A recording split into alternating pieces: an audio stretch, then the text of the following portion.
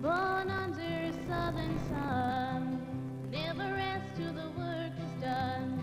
Times were hard.